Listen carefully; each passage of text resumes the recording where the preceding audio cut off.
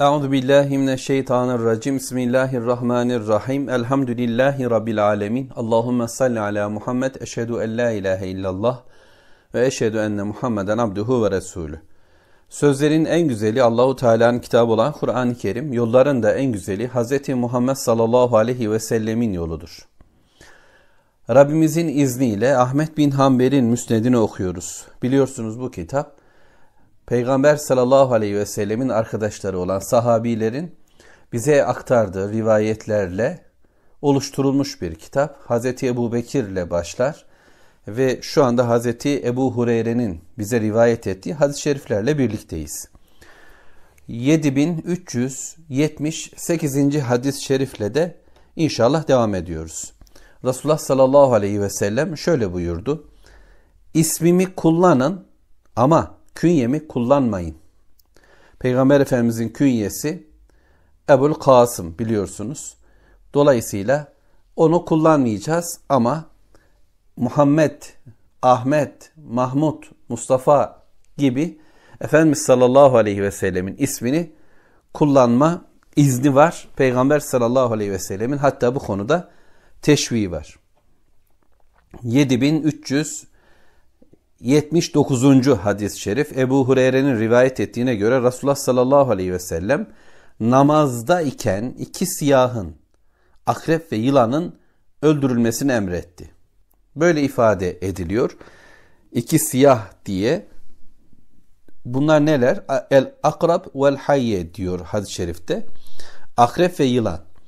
Yani normalde de zaten insana zararlı olan, eziyet eden bu hayvanların öldürülmesi Müslümanlar için caiz görüldü, izin verildi ve namazda bunların öldürülmesi namazı bozan hareketler cümlesinden değerlendirilmiyor.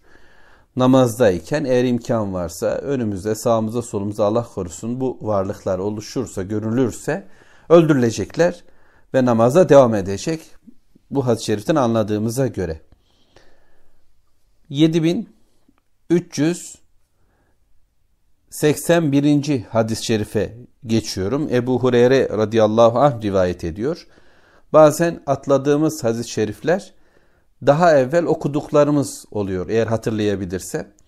E, çünkü bu kitapta böyle tekrarlar da var. Farklı rivayet kanallarıyla geldiği için aynı hadisi Hz. Ebu Hureyre Peygamber Aleyhisselatü Vesselam'dan duysa da Ebu Hureyre'den duyanlar farklı olduğu için farklı kanallarla gelmiş. Böylesi hadis-i şerifleri zaman zaman atlıyoruz. 7381. hadis-i şerif şöyle.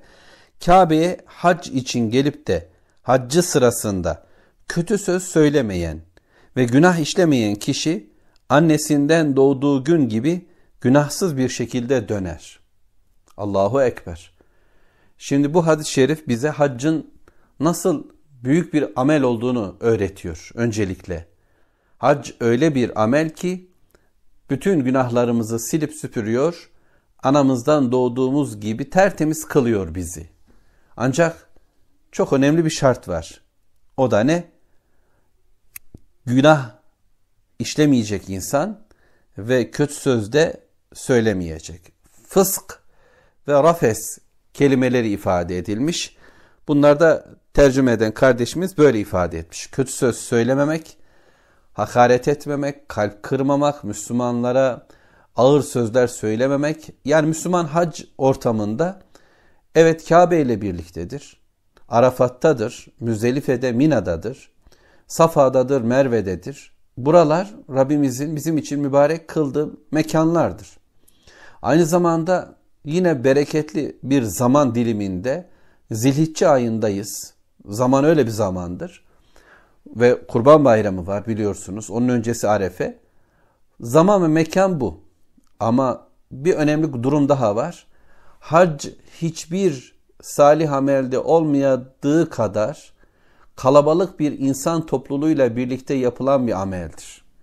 Yeryüzünün bütün köşelerinden gelmiş farklı renklerde, farklı ırklarda, farklı dillerde müminlerin kardeşliğinin ortaya konulduğu muhteşem bir ameldir.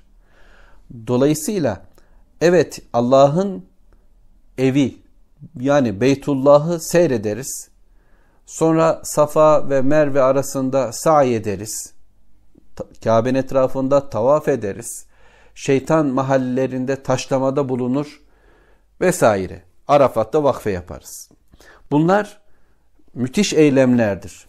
Ama bakın bu eylemleri sürdürülür hale getirmemiz, güzelleştirilmesi ise insanlarla birlikteliğimizde günahsız kalmak. Yani Allah'ın kullarını Allah'ın o önemli gördüğü zaman ve mekanda kırmamak, kötülememek bizim için çok önemlidir.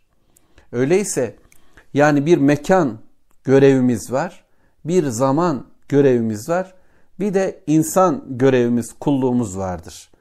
Allah'ın kullarıyla olan tavırlarımız bizim için hayatiyet taşıyor. Yani cennet vesilesi, cehennemden kurtulma imkanı ya da tam tersi olur Allah korusun. Öyleyse hacca kadar gitmiş, pek çok mal harcamış, beden olarak pek çok sıkıntıya katlanmış, oralarda bulunmuş, ibadet etmiş ama günaha girmiş ama kötü söz söylemiş, hatalar içerisinde dönmüş. Şimdi bu gerçekten yırtık pırtık bir elbise gibidir. Adamın üstüne güzelce yakışmayan, yaraşmayan, kapatmayan, örtmeyen bir e, elbise mesabesindedir. Oysa hac temizliyor, tertemiz kılıyor. Rabbim haccın dışındaki hayatımızda da bizi günahsız ve kalp kırmayan, kötü söz söylemeyen, Allah ve peygamberin istemediği bir şekilde konuşmalar yapmayan kişiler haline getirsin. Duam herhalde doğru oldu. Devam edeyim Allah'ın izniyle. Ahmet bin Hanbel'in müsnedini okumaya devam ediyorum. 7382. hadis-i şerif. Allahu Teala şöyle buyurdu. Kibriya ridam, izzet ise izarımdır. Her kim bu ikisi hakkında benimle çekişirse onu cehenneme atar. Allahu Teala'dan Peygamber sallallahu aleyhi ve sellem bir bilgiyi bize aktarıyor. Rabbimizin bir sözünü bize aktarıyor. Rabbimiz şöyle buyurdu. Allahu azze ve cel aziz ve celil olan Rabbimiz buyuruyor ki kibriya yani büyüklük ancak Allah'a ait bir durumdur ve bu Allahu Teala'nın ridası, örtüsüdür. Bu kelimeler üzerinde durmuyoruz. Kelimeleri anlamaya, ne ifade ettiğini kavramaya çalışmıyoruz. Ve Allahu Teala diyor ki izzet, güç kuvvet, onur ve şeref de izarımdır. Dolayısıyla bunlar ancak Allah'ta güzel duran özelliklerdir. Kim ki bunlarda Allah'a ortaklık yapmaya kalkarsa, bu konuda Allah'la çekişirse, yani ben de biraz büyüğüm, ben de onur, şeref, güç, kuvvet sahibiyim ya da insanlara bunları dağıtabilirim dediği anda Allah onu cehenneme atar. Kulun kulluğunun en muhteşem hali budur. Allah'ı büyük bilip Allahu Ekber diyecektir ve Allah'ı aziz, izzet ve şeref sahibi bilip bütün onuru, izzeti Allah'tan isteyecek, güç ve kuvvet sahibinin o olduğunu bilecek, la havle ve la kuvvete illa billah diyecek, ne kendisinde ne de bir başkasında bir büyüklük, bir izzet aramayacak, onun sadece Allah'ta olduğunu bilecek. Bu konularla kesinlikle Allah'la bir yarışa, bir kavgaya ya da bir çekişmeye girmeyecek. Girerse sonu cehennem olacak. Bu hadisi şerife göre. Ahmet bin Hanbel'in müsnedinde 7386. hadis-i şerifi okuyorum. Ebu Hureyre radıyallahu anh bize aktarıyor. Kim kötü bir iş yaparsa onunla cezalandırılır. Men ya'mel su'en yüczebi. Nisa suresi 123. ayet-i kerime nazil olunca bu Müslümanlara ağır geldi. Ve hayli üzüldüler. Düşünsene kim yanlış yapmaz, kim hata etmez ki? Ve her hata, her kötülüğün bir karşılığı var diyor Allahu Teala. Bu durumu Resulullah sallallahu aleyhi ve selleme söylediklerinde şöyle buyurdu. Biliyorsunuz sahabe-i kiramın tavırlarında isyan yok. itiraz yok. Ama anlamadıkları, kavrayamadıkları ya da içlerine dert olan konularda Resul Aleyhisselam'la rahatlıkla konuşmaktalar. Efendimiz sallallahu aleyhi ve sellem de şöyle buyurdu. Siz orta yolda gidin ve doğruya yönelin. Müslümanların başına gelen her şey onun günahları için kefarettir. Hatta sendelemesi, tökezlemesi ve ona ayağına batan bir diken bile günahlar için bir kefarettir. Ayak dedik ama ayak yok mealde ona batan herhangi bir yerine batan bir diken bile günahlar için kefarettir. Yani günahlarını siler. Biraz önce günahları silen bir ibadet olarak haccı Allah'ın elçisinden öğrendik. Şimdi de Peygamber sallallahu aleyhi ve sellem evet sizler günah işliyorsunuz ve bu günahların mutlaka bir karşılığı var. Bu bizi teyakkuz halinde tutacak. Gücümüzün yettiği kadar günahlardan uzak bir hayat yaşamaya çabalayacağız. Bununla birlikte Rabbimizin bir rahmeti olarak da başımıza gelen her türlü musibet, sıkıntı, denenmeden kaynaklanan bir silgi de var. Yaptıklarımızı silen şeyler var. Ne onlar? Başımıza gelen üzüntü, kalpteki bir sıkıntı, bir, bir şeyimizin kaybolup yeniden bulunması, ayağımıza batan bir diken, yolda tökezlememiz vesaire. Bunlar bile günahlarımız için bir kefarettir. Peki ne yapalım? İşinize bakın diyor Peygamberimiz. Yani siz orta yolda gidin ve doğruya yönelin. İşiniz Allah'ın istediği bir kulluk noktasına çabalamak olsun. Ve bu noktada da dengeli olun. Gücünüzün yettiği kadar çabalayın. Çünkü biz bir gün kul değiliz. Hayatımız sürdükçe kulluğa devam edeceğiz. Yani böyle bir gün iyice donanımını hazırlıyorsun. Gece gündüz Allah'a kulluk ile dolu bir hayat planlıyorsun. Sonra sonra nefsin yoruluyor, bıkabiliyor. Allah korusun. Bu da bu tembellikler, gaflete, gafletler kulluktan ayrılmaya insanı götürebilir. Ölçülü, dengeli ve fakat tempolu bir koşu bizimki. Devam edeceğiz kulluğa. Bütün hayatımız süresince maddi ve bedeni olarak da hem de bundan ayrılmayacağız Allah'ın izniyle. Ahmet bin Hanbel'in müsnedinde 7387. hadis-i şerif. Ebu Hureyre'nin rivayet ettiğine göre Resulullah sallallahu aleyhi ve sellem şöyle buyurdu.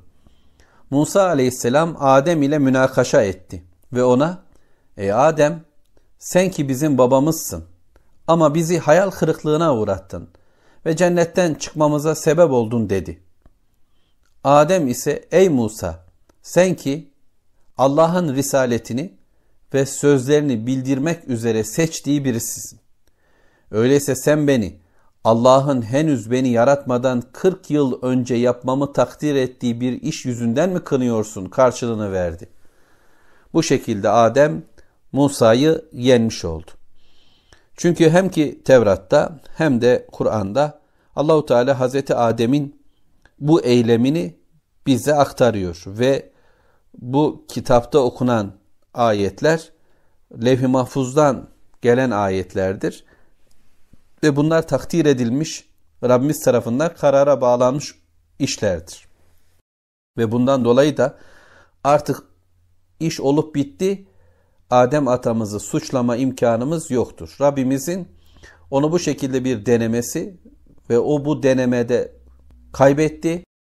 Çünkü Allahu Teala Taha suresinde bunu böyle ifade ediyor. Ve Adem atamız Musa Aleyhisselam'a karşı bu delilleriyle de galip geldi diyor Peygamber sallallahu aleyhi ve sellem. Ahmet bin Hanbel'in müsnedinde 7300 91. hadis-i şerifi okuyacağım inşallah. Ebu Hureyre rivayet ediyor. Allah ondan razı olsun. Resulullah sallallahu aleyhi ve sellem şöyle buyurdu. Mürselat suresini okuyan kişi onlar artık ondan sonra hangi söze inanacaklar? Yani 50. ayeti okuduktan sonra Allah'a iman ettik desin. Tin suresini okuyan da sonunda evet ben de buna şahitlerdenim desin. Şimdi bunları yapan Allah'ın ölüleri diriltmeye gücü yetmez mi? Kıyamet suresi 40. ayet-i kerime okuyan da bilakis yeter desin. Kur'an canlı bir kitap ve bize seslenen Rabbimizin kelamı. Dolayısıyla onunla birlikte olan bir kişi de bu canlılığı ruhunda hissedecek ve cennet haberleri geldiğinde sevinecek, cehennem haberleri olduğunda korkup Allah'a sığınacak ve üzülecek. Geçmiştekilerin hikayeleri anlatıldığında düşünüp ibret alacak. Geleceğin günlerini tefekkür ettiğinde hayatına çeki düzen verecek gibi Allahu Teala'dan gelen emirleri yerine getirmeye çabalayacak. Yasakladıklarından kaçmaya gayret edecek. Dolayısıyla anlayarak, kavrayarak Rabbimizin ne dediğini bilerek bir Kur'an okumamız olacak. Bu hadis-i şerif bize bunu söylüyor. Özellikle 3 surede sorular var. Bu soruları Peygamber Aleyhisselatü Vesselam bize öğretiyor ne yapacağımızı.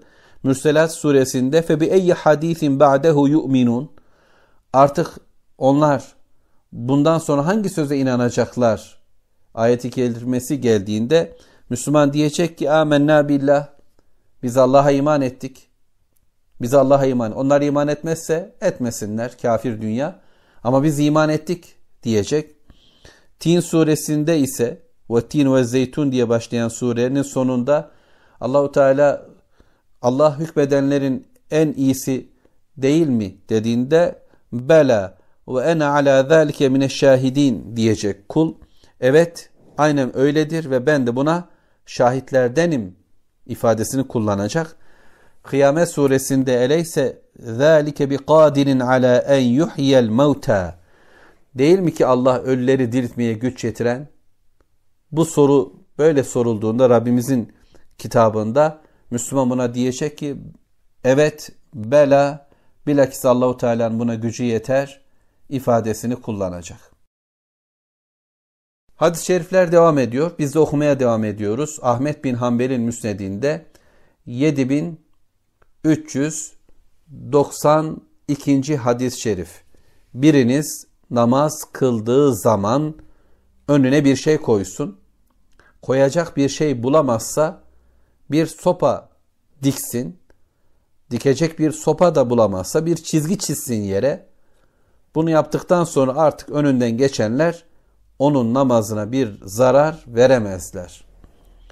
Kıblem benim dinim. Kıblemi bozan tüm hareketler, görüntüler dinime yapılan bir müdahale. Bu bakımdan namaz kılarken önümüzden birilerinin geçmesine imkan tanımayacağız. Hatta gerekirse bu konuyla ilgili savaşacağız. Çünkü tekrarlayayım, kıblem benim dinimdir. Nereye yöneldiğim önemli. Müslümanlar kıblelerini kaybettiler. Ekonomik dünyada bir tarafa, siyasi dünyada başka tarafa, sosyal dünyada başka bir tarafa, işte Paris'e, modada, sporda falan stadyuma, işte televizyon ekranlarıyla filan şehrin filmlerine doğru döndü insanlar. Biz Allah korusun böylece namazda Kabe'ye döndüğümüzü iddia etsek bile hayatın diğer taraflarında Kabe'ye dönmeden yaşanan bir hayat yani Allah'ın ve Resulünün belirlemediği bir yöne doğru yaşanan bir hayatın kıblesi bu şekilde kaydı ve parçalandı. Yani günümüz, bedenimiz, ruhumuz pek çok yön ve yönet elde etti. Bu hadis-i şerif kıblemizi korumamızla ilgili bize bilgi veriyor. Önümüzden geçilmesine imkan tanımayacağız, izin vermeyeceğiz. Birileri geçmeye kalkarsa evet onlar bir günah işlemektedirler ama ben de bunu engellemeliyim. Bunu engellemek için sütre koyacağız önümüze. Bir şeyler koyacağız. Hiçbir şey bulamadık. O zaman yere bir sopa dikiyoruz. Bu da yoksa bir çizgi çizmek de yeterli olacak. Namaz yani secdeye kapanacağım yerin hemen ötesine bir sütre bulup, bulup koyacağım ve böylece namazımı ve kıblemi korumuş olacağım. Artık kimse sizin namazınıza zarar vermez diyor Peygamber sallallahu aleyhi ve sellem. Ahmet bin Hanbel'in müsnedinde 7398. hadis-i şerifi okuyacağım Rabbimin izniyle. Peygamber aleyhissalatü vesselam torunu Hasan için şöyle diyor. Allah'ım ben onu seviyorum. Sen de onu sev. Ve onu sevenleri de sev buyurdu. Peygamber aleyhissalatü vesselam Hasan'ı seviyor. Ehli beyt ve diyor ki onu seveni de sev Allah'ım. Yani sen onu sev, onu sevenleri de sev Allah'ım diyor Peygamber sallallahu aleyhi ve sellem. Her zaman demeye gayret ettiğimiz bir konu var. Sevgimizin sahibi Allah, kimi seveceğimizi belirleyen Allah, tabii ki onun elçisi. Düşmanım, dostum kim? Kalbimi kim dolduracak? Sevgilerimi nasıl ayarlayacağım? Şehvetim mi? Aklım mı? Menfaatlerim mi belirleyecek?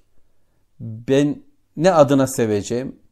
İşte müdahil olduğum ortam, rozetini taşıdığım yer mi benim sevgilerimi belirleyecek?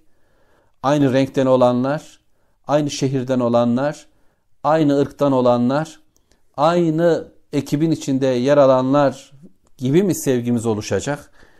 Kim dedi diye seveceğiz. Allah ve Resulü diye seveceğiz ve seveceklerimizin arasında Hasan var. Peygamber sallallahu aleyhi ve sellemin torunu Hasan burada. Hüseyin de var elbet. Onu Allah'ın Resulü sevdi diye biz de seveceğiz. Çünkü Allah'ın Resulü seviyorsa Allah'ın sevdiğidir. Ve biz onu sevdiğimizde Allah da bizi sevecek. Çünkü ona karşı olan sevgimizde tek belirleyici Allah ve Resulüdür. Bu sevgi bizi kazançlı hale getiriyor. Unutmayalım. Ahmet bin Hanbel'in müsnedinde 7402. hadis-i şerife geçiyorum. Ebu Hureyre radıyallahu anh bize aktarıyor. Resulullah sallallahu aleyhi ve sellem şöyle buyurdu. Müminler içinde imanı en kamil olanlar, güzel bir ahlaka sahip olanlardır. En hayırlıları da kadınlarına karşı hayırlı olanlardır diyor Efendimiz sallallahu aleyhi ve sellem. Müminler içinde imanı en kamil olanlar, iman açısından en üstün olanlar kimlerdir? Güzel ahlaka sahip olanlardır. Davranışları Müslümanlara, insanlara karşı davranışlar güzel olanlardır. İman ve ahlak arasında direkt ilgi kuran bir hadis-i şerif. Bu benim imanım güzelse Allah'a bağlılığım, ona ve onun gönderdiğine güvenim tamsa onun kullarına karşı da, iman etmiş kullarına karşı da en güzel bir davranışta bulunmalıyım. Onun diğer kullarına da, iman etmeyenlere de ben yine güzel davranacağım sosyal hayatımda, davranışlarımda. Güzel ahlak budur. Hatta varlığın tamamına, bitkilere, hayvanlara bile, eşyaya bile Müslüman güzel davranır. Allahu Teala'nın varlığı olarak değerlendirdiği bütün mahlukata bu iman çerçevesinde davranması onun kemalini gösterir. Yüceliğini, üstünlüğünü gösterir. Bu noktada en hayırlı olanlar yani varlıklar içerisinde kendilerine en güzel davranacağımız kimseler biz erkekler için hanımlardır. Hanımlarımız eşlerimizdir, kardeşlerimiz, kız kardeşlerimiz, kızlarımızdır, annelerimiz, teyzelerimiz, halalarımızdır vesaire. Bunlara güzel davranacağız ee, ve unutmayacağız. Yani Rabbimizin kulu olarak her birisinin bir hakkı var. Bu hakkı güzelce yerine koymamız gerekir. Emaneti zayi etmeden ve özellikle eşlerimiz bizim için en güzel davranışa layık olan kimselerdir. Onun şöyle yapması, böyle yapması, bunu hak edip hak etmemesi kararını sen vermeyeceksin. Çünkü biz kendimiz karar veriyoruz. İşte o böyle bir davranışı hak etmiyor diyor insanlar. Bunun belirleyicisi sen misin? Belirleyen Allah ve o diyor ki güzel davran. Sen karakterini imanla biçimlendireceksin ve iman sana hayırlı bir davranış, güzel bir ahlak verecek ve sen öyle davranacaksın. imanlı bir adamın yapısı güzel ahlaktır. İmanı bozuk olanın yapısı kötü ahlaktır. Karşımızdakinin kötü ahlaklı olması bizi de kötüleştiriyorsa bizim imanımız onun imanına benzemeye başlamıştır. Allah korusun. Madem ki sen iman olarak üstünsün, yani bunun derdindesin, cennete net inanıyor, cehennemden net çekinip korkuyorsun, o zaman insanlara göre ayarlamayacaksın davranışlarını. Allah'a ve Resulüne göre ayarlayacaksın diyor sanki bu hadis-i şerif bizlere. 7403. hadis-i şerifi de size ifade edeyim inşallah. 7403. hadis-i şerif. Peygamber sallallahu aleyhi ve sellem şöyle buyuruyor. Cevamiul kelim az sözde çok şey ifade etme kabiliyeti bana verildi. Yeryüzü bana mescit ve temiz kılındı. Peygamber sallallahu aleyhi ve sellem kendisine diğer peygamber aleyhisselamlara verilmeyen bir özelliği de burada dile getiriyor. Birincisi cevamiul kelim. Az sözle çok şey ifade edebilecek bir kabiliyet verdi Rabbimiz Peygamber aleyhissalatü vesselama. Ayetler de böyledir biliyorsunuz. Okuduğumuz her bir ayette pek çok konu vardır. Rabbimiz bir kelamın içerisine hayatın tamamına dair hatta dünyaya ve ahirete dair bilgiler sığdırmıştır. Biz onları okuduğumuzda her yönüyle hayata ışık tutan bir bilgi görürüz, bir bilgi buluruz. Peygamber Aleyhisselatü Vesselam'a da Allahu Teala vahyetti. Kur'an'ın dışında ve o vahyedilen bilgileri ifade etmede de böyle bir kabiliyet ihsan etti. Derli toplu konuşuyor, az söylüyor ama çok maksatlar ortaya çıkıyor bu sözlerden. Peygamber Aleyhisselatü Vesselam'a verilen özellik buydu. Bir diğer özellik ise yeryüzü mescit. Her nereye gidersek gidelim orada namaz kılabiliriz.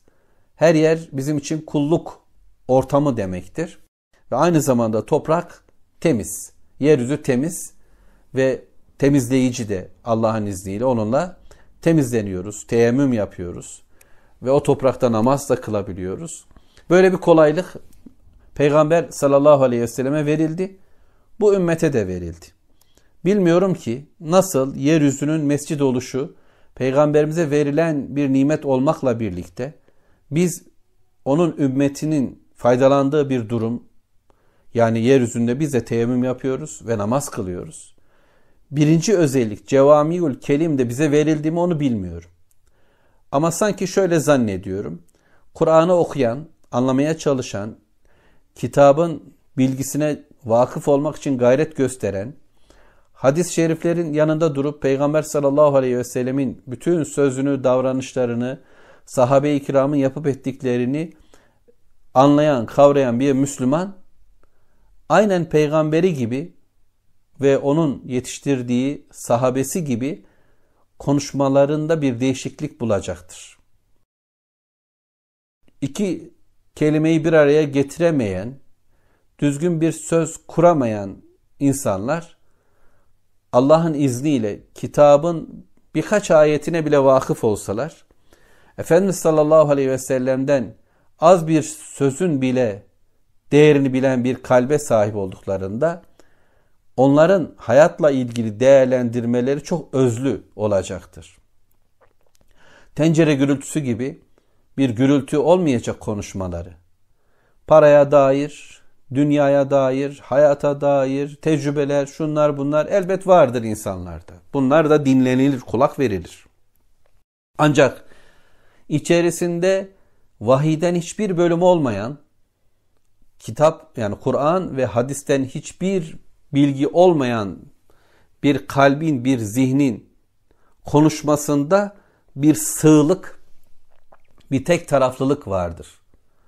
Ancak az da olsa kitabın bilgisine sahip olan Müslümanın bütün konuşmalarında bir bereket, bir çok yönlülük, bir hikmet olacaktır. Resul'e verilen belki bize de verilir öyle olunca okumayı, anlamayı çoğaltıyor ve devam ediyoruz. Velhamdülillahi Rabbil Alemin. Allahümme salli ala Muhammed.